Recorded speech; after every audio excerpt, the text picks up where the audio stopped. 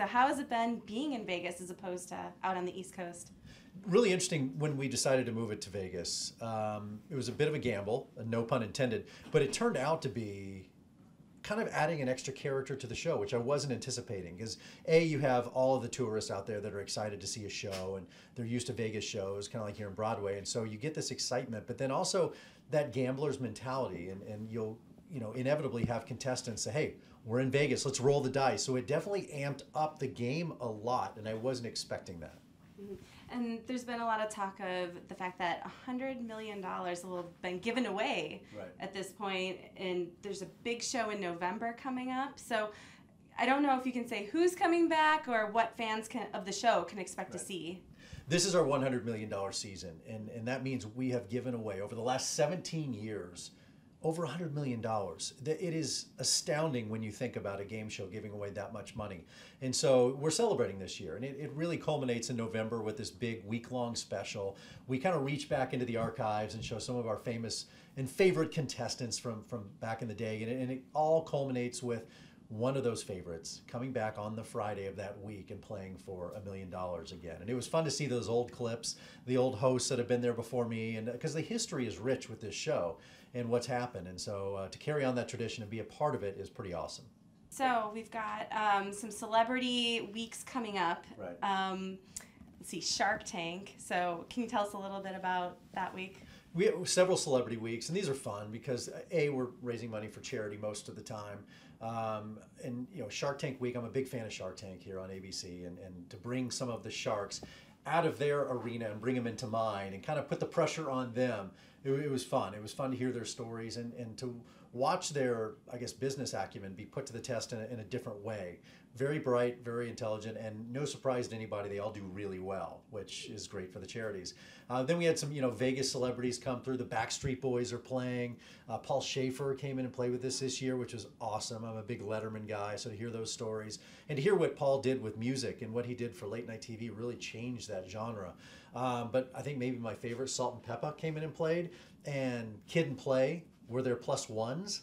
And so to, to have Salt-N-Pepa and, and Kid and Play on my stage at one time, it was my 90s childhood was just coming back. That's surreal. it, it, was surreal. It was a weird, surreal moment.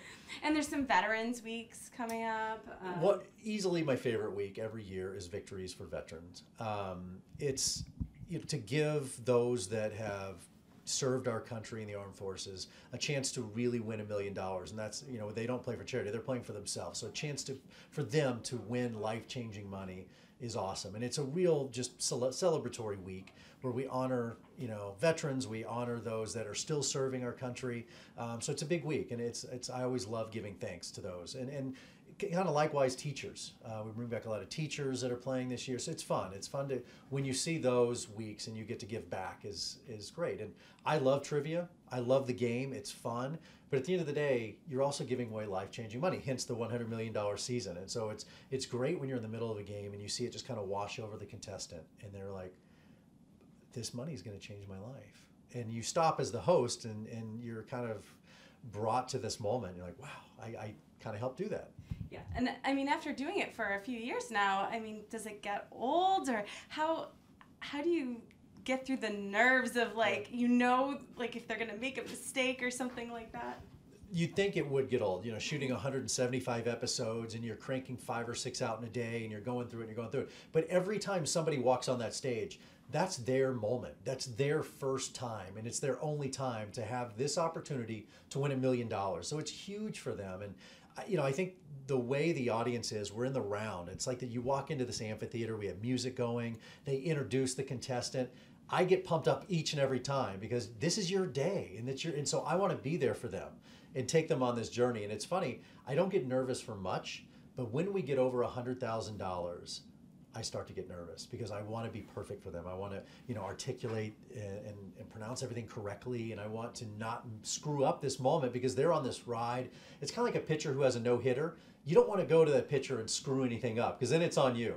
So when we get to 100, 250, 500,000 dollars, I start to get nervous. I would too. Um, are there any can you reveal if there's any big, big winners coming up this season? We, I mean, look, we didn't give away $100 million over the last 17 years by not having big winners. So, yeah, we do have some big winners. I can't say if we had the, the big, but I will say many times we're over that $100,000 mark. And it's, which is so fun for me. When you get to that, it's just awesome because then the game gets so real and so tense and the music changes and the lights change and that heartbeat. And it's just awesome. I, I relish those moments. And what is it like after the episode ends and you're alone with that contestant who's just won a bunch of money in their family? Is it just, it's got to be amazing. one of two things happens when somebody wins a lot of money. One, they don't comprehend what just happened, and they're just they're kind of going through the motions. We're taking pictures, and they're like they're, they're they're smiling, but I don't think they really know. Then there's those that it just hit them and it just sunk in. They'll look back at the graphic behind them and it says two hundred fifty thousand dollars or fi- whatever it is, and like oh my god. I just want a quarter of a million dollars because they were so into the game, they kind of forget. And then when it, they realize it and they see their wife or their dad or whoever behind them, and they're crying, and you realize you just changed this family's life. All right, well, best of luck with the, Thank you, the guys. season. Appreciate it. amazing.